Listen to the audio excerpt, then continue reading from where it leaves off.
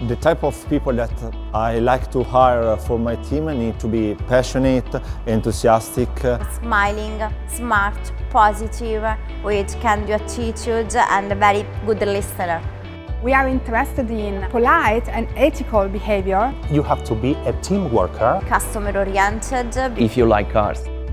As a company, we trust in people 70% of our manager and team leader are coming out from internal promotion process, especially in the field operation staff.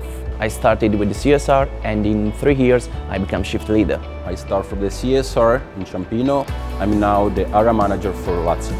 If you want to work for us, you should apply by online. Be ready, study something about the company, be familiar with your CV, be able to speak about yourself because we are going to ask you why you will be perfect for us.